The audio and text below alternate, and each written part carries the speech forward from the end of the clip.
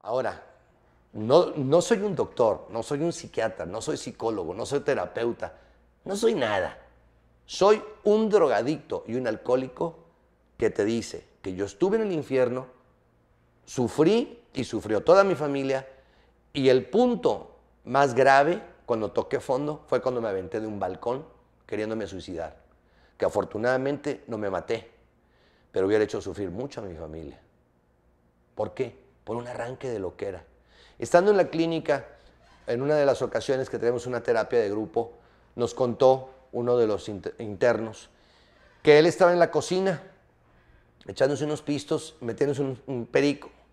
Tenían, ah, estaban fumando coca también. Tenían como tres días en la cocina, cocinando coca. O sea, ¿qué es cocinar coca? Bueno, pues que lo pones en la cuchara con, el agua eh, destilada y que pones el, bicarbonato y, el perico, entonces lo, lo, cocinas y se vuelve crack y te lo fumas en forma de piedra, en una pipa, en una lata de, de cerveza. Eso es cocinar coca, lo que le dicen el crack.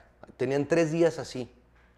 Entonces, uno de ellos ve entrar a la cocina una araña gigante en el tercer día, en el alucine. Entonces él agarra un bate y mata a la araña gigante. La mató a batazos. Al siguiente día despiertan de su loquera, se les acaba la droga, se quedan dormidos y se da cuenta que mató a su hija a batazos. Él alucinó que era una araña y mató a su hija a batazos. Para que te des una idea de hasta dónde llega la loquera. Y dices, no, yo la controlo. Va a ser leve, va a ser poquito. No es cierto. La droga es progresiva. No para. Jamás le ganas tú a la droga. Siempre te gana a ti.